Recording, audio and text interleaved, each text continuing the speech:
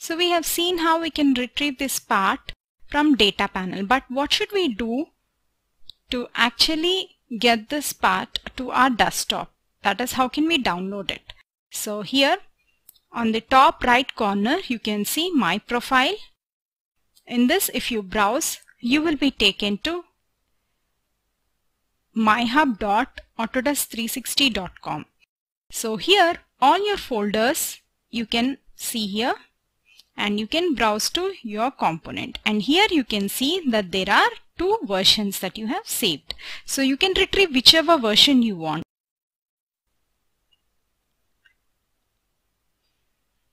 So right now I'm using the second one only that is the last saved one and this version if I want I can download it using this download button or change its format also while downloading so that I can import it to some other software. And once I export it here I'm doing it in F3D which is Fusion 360 so now a download link will be made to me.